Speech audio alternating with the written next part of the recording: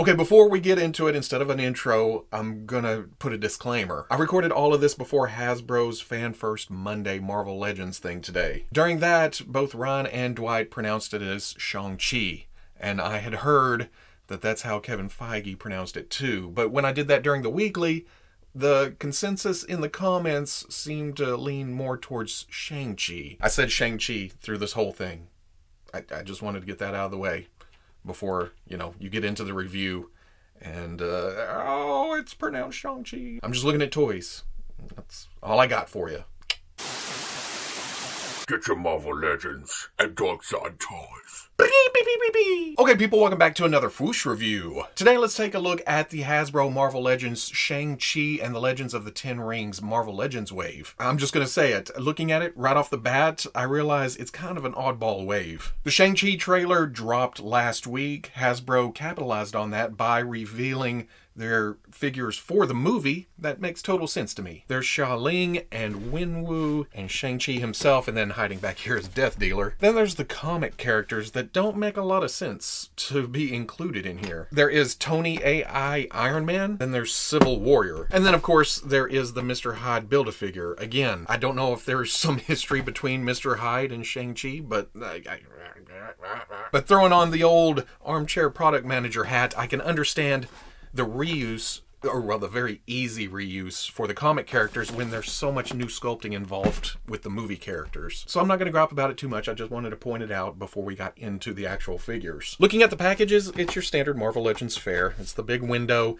the logos, showing the movie, showing everything you get with the figures. The background's kind of just blah. But then for Iron Man, there's blue. So the blue against the blue looks blue. And then Civil Warrior has kind of a yellowish background that on the sides we get an artwork a very nicely drawn picture which is what artwork means artwork can mean a lot of things i guess but we're not going to get into that nice visual representations of each character in the wave on the back same thing along with pictures of other characters in the wave there's little bios for each character. Wenwu is interesting, where it says, which has lurked in the shadows of the MCU since the very beginning. Ooh. Shang-Chi and Xialing kind of changes things up by swapping to the other side. Does that mean, oh, bad guys to the left, good guys to the right? But then on the back is, well, it's the same artwork. Small parts, don't put them in your mouth. On the other side, same pictures. On top, come on, on top, there's the Shang-Chi symbol, Iron Man logo, Contest of Champions.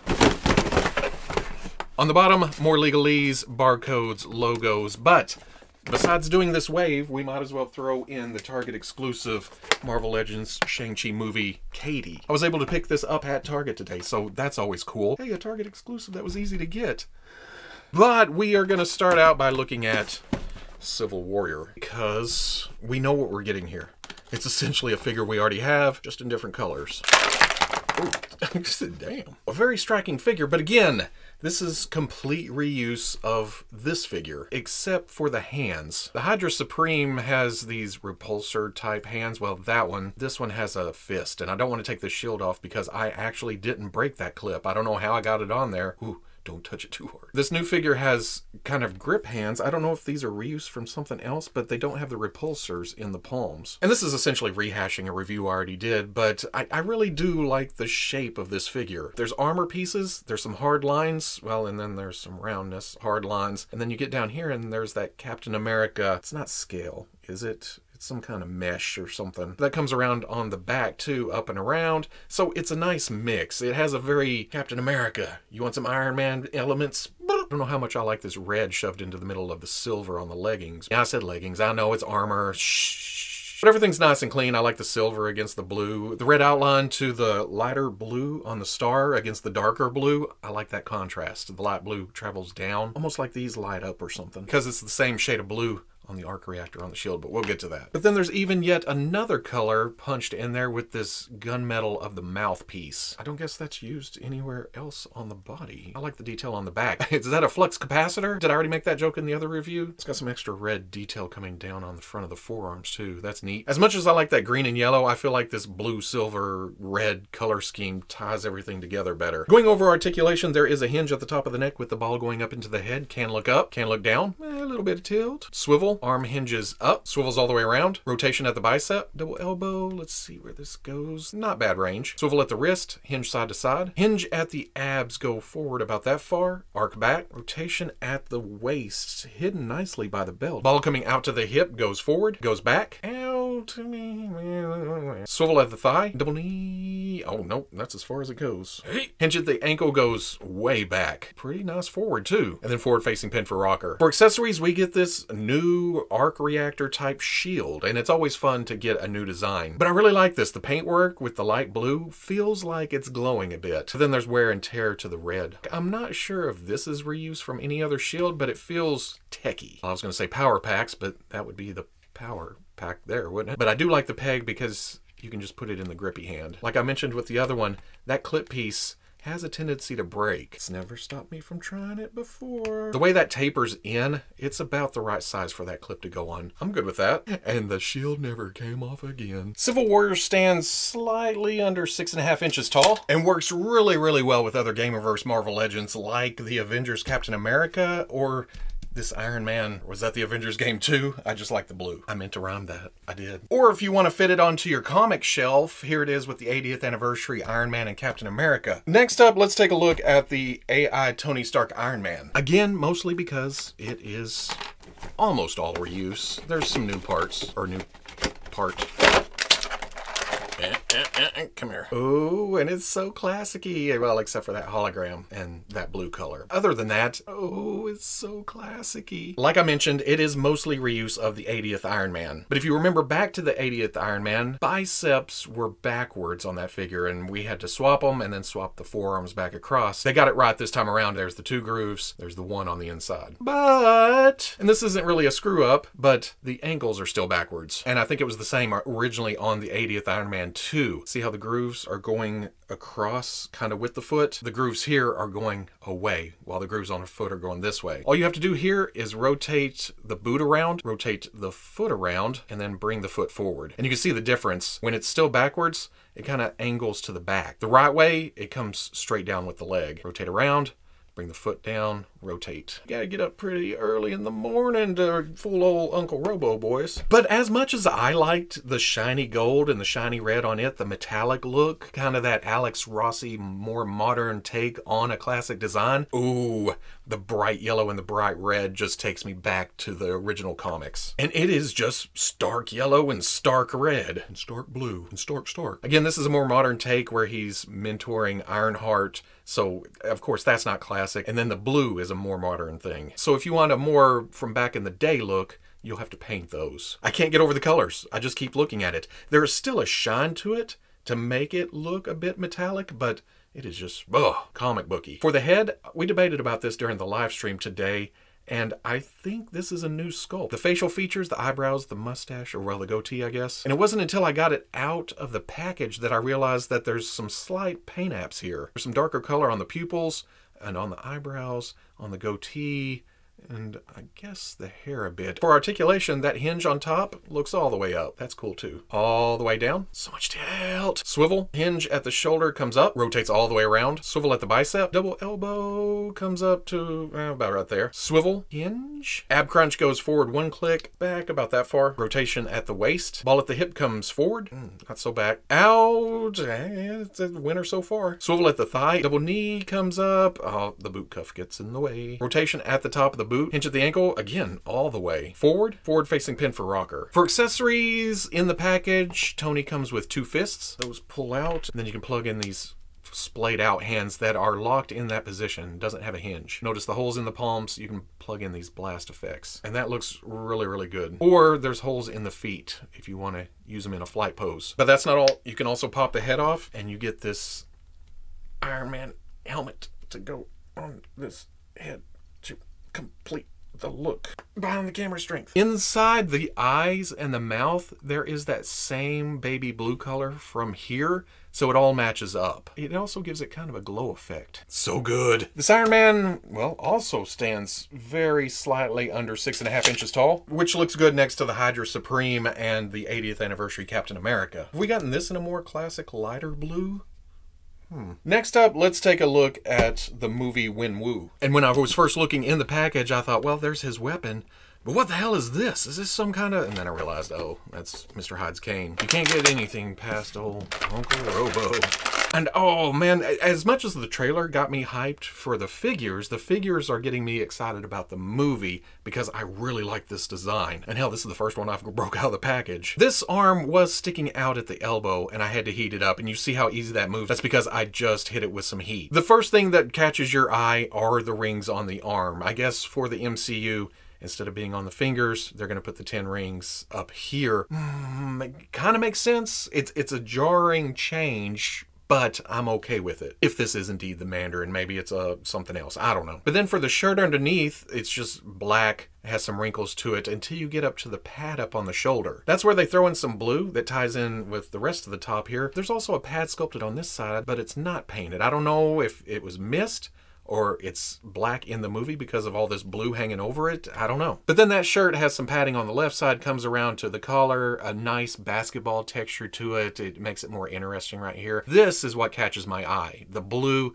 with this shoulder pad looking thing. Geometric shapes that comes up and around to the back. Kind of goes less colorful. That then pops into a grid detail that comes under this hanging around the waisty thingy and travels down to this flap on the front. Then we get past that, it's kind of baggy pants. There's some seam lines to it, a knee pad, wrinkly down to the top of the boots, and I love this design. The silver punched in right here just to spice them up a bit? I'm okay with that. Plus it's nicely applied. It comes around to the back, goes down. But this hang down thing, has this very intricate tampo on top of it. That is all paint. There's a belt sculpted into that too. This is all one piece hanging around the waist. The belt comes around, has some ornate detail here on this side pad. Then it gets to the 10 ring symbol for the belt buckle. Ooh. And I joked about this in the weekly, but this design really speaks to me as a guy in his early 20s in the mid 90s. You have your combat boots, you have your baggy pants, you have your long sleeve shirt under another shirt, then you have your flannel shirt tied around your waist. Wenwu is ready for some fairly safe mosh pits. But then it's the head, the sculpt, the photoreal for the eyebrows, the eyes, the mouth. It is just great. I was going to say something about him looking not too excited to, to be here or something,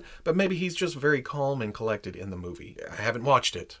I don't know. But I do have a problem with the flannel. It is a traffic cone around the waist. You can get out here and a little here, but it doesn't really allow for a super amount of leg movement and there's not a good place to put any kind of cuts. Going over articulation, there is, oh, there's a dumbbell joint at the top. No, there we go. I didn't realize it would do that. Dumbbell joint at the top of the neck, ball joint down at the bottom under the collar, a little bit. Does go up, down, uh, yeah, not bad. Not as good as a hinge would, but still not bad. This is where the dumbbell comes into play though, so much tilt. Swivel, hinge at the shoulder, oh, what am I doing here? I tore the glue off right there. There does seem to be a peg on that. It does come up to 90. Rotates, you're gonna get to about right there. But as you can see, the potential's there. There's just something in the way. Yeah, we're going 90s. Swivel at the bicep. Double elbow goes all the way up. Swivel at the wrist and then side to side. Ball joint mid torso gets nice hula hoop action. Talked about the legs. That comes out to ball joints. You can get to about right there. Back, not so much. Out, about right there. There is a swivel at the thigh. Oh, double knees. We're going for it. We are going for it. It would kick his ass if you could get around to his ass. Hinge of the ankle goes back. Wow, this whole wave is just ankle-rific. Forward, forward-facing pin for rocker. For accessories, Wenwu comes with two fists, comes with two clawed hands, some kind of fighting stance, and then comes with two grip hands. And those are for holding this. I'm not sure what this is called. I know it has a name, some blade, and there's some poke and then there's some hook. That totally works. Wenwu stands at six and a quarter inches tall and looks good next to other MCU type characters like the Endgame Captain America and then Trevor. Hasbro's been doing fantastic with the MCU stuff for a while, but it seems like they're skewing even more realistic lately. So the bigger head, the more realistic proportions, it's going to look slightly off with some of the older figures. Next up, we'll look at Xialing. And I'm not sure I'm saying that. During the weekly, people said I was pretty close. Scotch tape, my old enemy. I feel like this could have been a boring design, and essentially it is just pants shoes, and then a shirt with some intricate design work on it. But as an action figure, this thing's kind of kick ass. Like I said, it's just black pants, but it's done so well with the wrinkles coming down and the shape of them. Doesn't look action figure but it is an action figure. Does that make sense? Of course, you see the joints and stuff, but the way it's all laid out, it feels very natural. It looks very natural. On the shirt, and it's hard to see because it's bright white, but it does have a texture to it, like we see with a lot of MCU costumes, uniforms, clothing. And they do it, I guess, to make it more visually interesting, even though it's just, you know, big patches of cloth. But it, it works both in the movies and in action figure form. I'm guessing it's a bit exaggerated that it's not this big and bumpy and obvious in the movie, but that's just what happens when it's scaled down to 112. What catches my eye is the paintwork here. So many tiny lines. There was a lot of room for error here. And just looking at it without my magnifiers or my glasses or anything, it looks very, very clean. I'm sure in the camera with the macro lens, the high resolution, there's probably lines that stop and don't touch or cross over or something. But for what it is, it's done really well. Like right there, off a little bit. Right here, again back here, a little messy right there. But I can't give Hasbro too much grief for it because we've seen paint jobs much easier to do than this, but much more messed up. So props to Hasbro for that. Props to Hasbro's factory for that. There is a sleeve sculpted on the forearm, comes down, that's glued, no, it's not glued down in the front, it's just very tight around the waist, but doesn't get in the way of leg. Well, it does kind of hit right there. You also see a slight sheen difference between, I guess those are two different plastics. But up at the head, uh, with the skin tone, it's just so soft and realistic. There is a shine now that I'm looking at it in all these lights, but you get it in natural lighting. It's very subtle. Straight black for the hair color, but the light bouncing off of it gives you a good idea of the sculpt itself. Photo real to the face, just an amazing looking likeness. Same situation with the neck. There's a dumbbell joint with a big old ball on top. Can look up, can look down. I love dumbbell joint tilt. Swivel, arm hinges up past 90, rotates all the way around. That's good range for just a single elbow. Then that rotates. Swivel, hinge, ball joint at the waist, doesn't go as forward as I like, but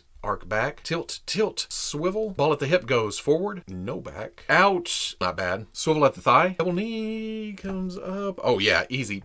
Hinge at the ankle, oh, continues that trend all the way back. Forward, forward facing pin for rocker. For accessories, she comes with two flat palms. She also comes with two fists, two, what I'm assuming is more fighting stance hands of some kind. Shush. And then another grip right hand. And there's a grip hand because of this rope that hangs over her shoulder. There's a handle on one side and then a blade of some kind on the other. Over her head. And then in promotional images, Hasbro had gripping like that. And that totally works, but I'd also like to see the rope extended. For those of you who noticed, I swapped the hand. I had the right hand and the left arm. Xialing stands at 5 and 7 eighths inches tall, which is pretty perfect with other Marvel Legends MCU characters like Black Widow and Shuri. Next up, let's take a look at Death Dealer. It also looks like gets in the way of some movement here. But some movie designs are just like that.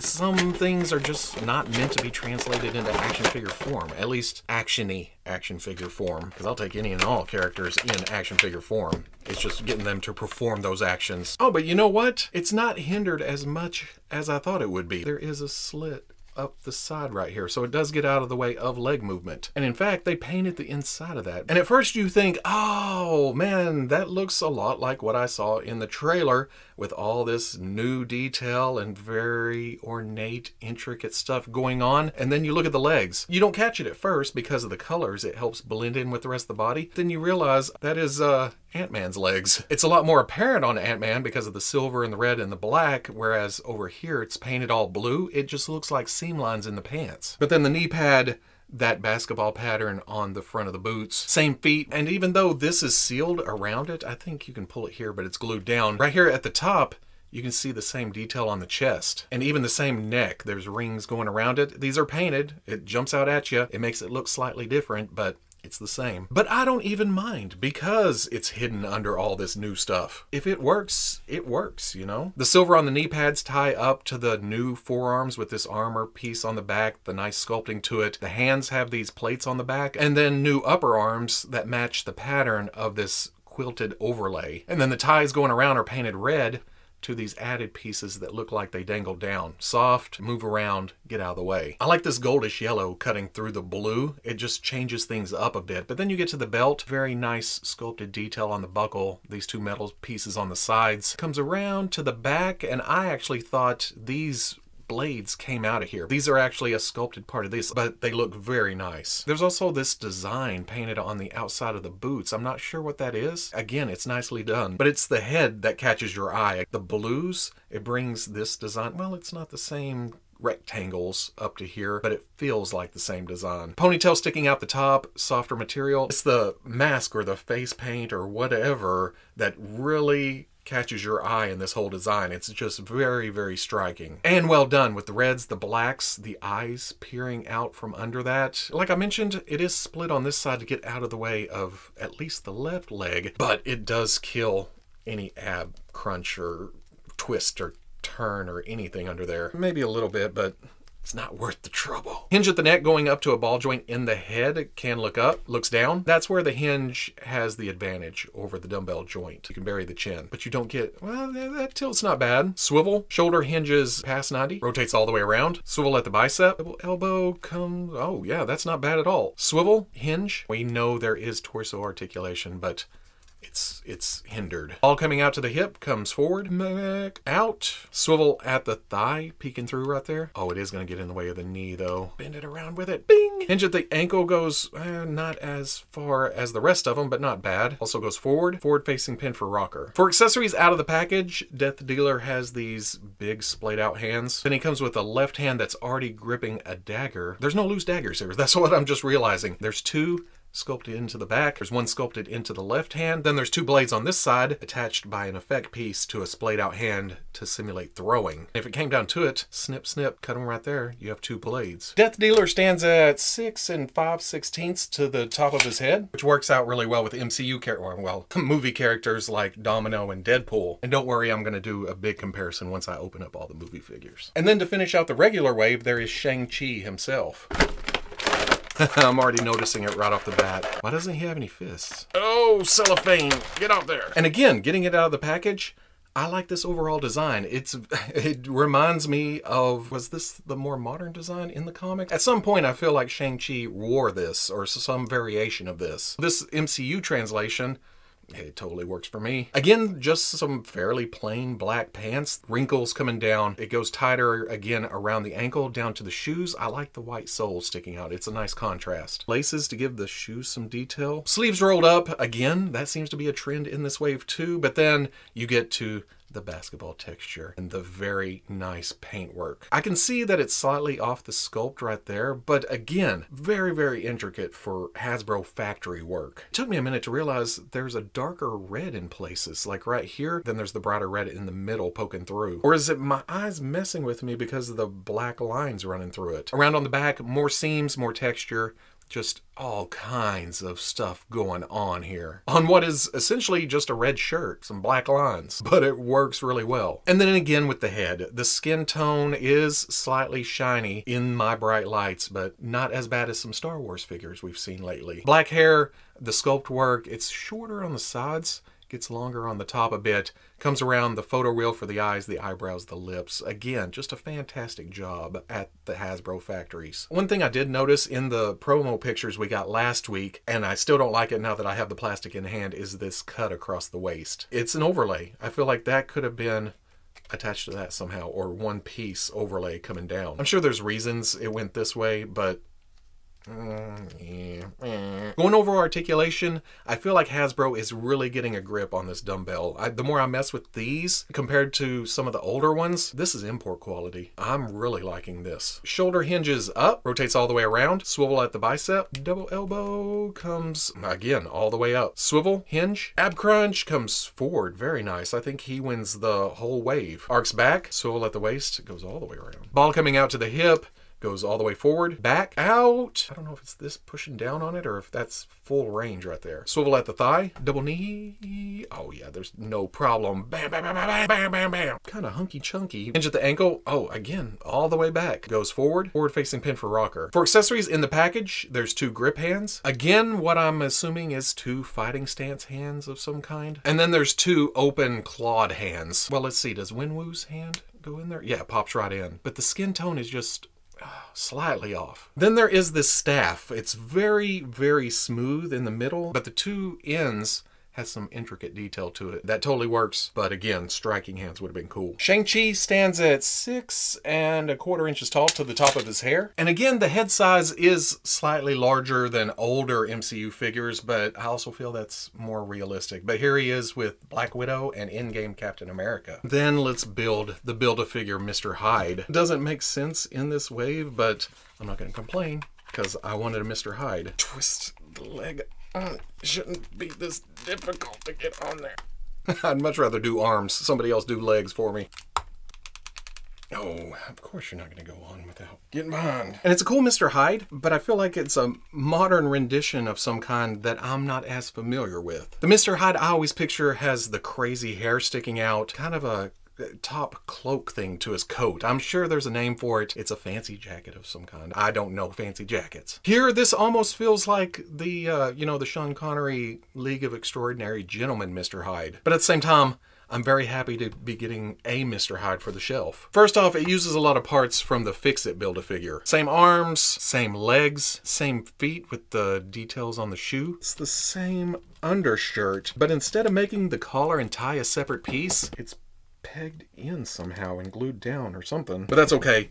That's not moving around. It's a nice bow tie. But then Hyde's jacket's different too, with the big collar going up and around, and then the vest being a part of it underneath. And then, of course, different hands, different head. And as far as those go, it's kind of beasty. The fingernails are roughed up and it has some grooves to it and they're a bit broken. There's a wart or two, bumps sticking out, and then hair sculpted on the back with a darker brown paint on top. It's just kind of blown on there, but the effect works. That's a grip hand. The other hand is splayed out. You can see the inside, just rough looking. Up at the head with the gritted teeth, the pink gums showing, the chops, the longer hair up under the bowler hat. The big thing though, are those big, bulging, bloodshot eyes. There's a metallic, is that green? To the eye, which matches the rest of the suit. That's why he wears the suit like that. It accentuates his eye color. It matches. But then the red around him and kind of bleeding out just makes him look wild. Pointy teeth on that? Yeah, I didn't even notice that till just now. In fact, are the teeth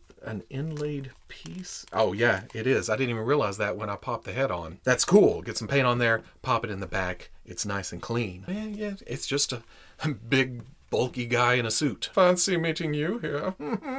there is a dumbbell joint at the top of the neck.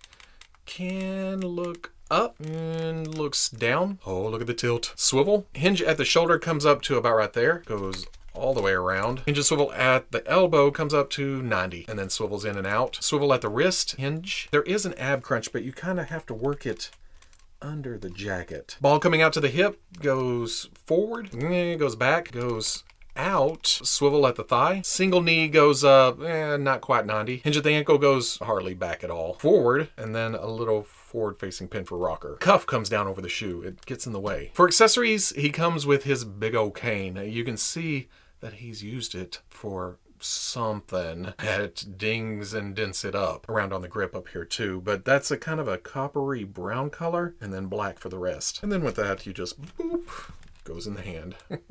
Getting the camera set up. He looks like a big angry leprechaun. But not joking about it, he does cut a mean silhouette. He looks angry. Well, he's supposed to look angry, but he's about to rip you a new one. Hyde stands at about eight and a quarter inches tall to the top of his hat, which is a good size compared to your standard Marvel Legends figures like Captain America, Iron Man, but can still go toe to toe with your big boys like Hulk and Wendigo, or Wendigo if you're nasty. But that's not all. Like I said, we're going to take a look at the Target exclusive Katy. I caught it on the Target app this morning for store pickup, I got the email a couple hours later. I went to pick it up.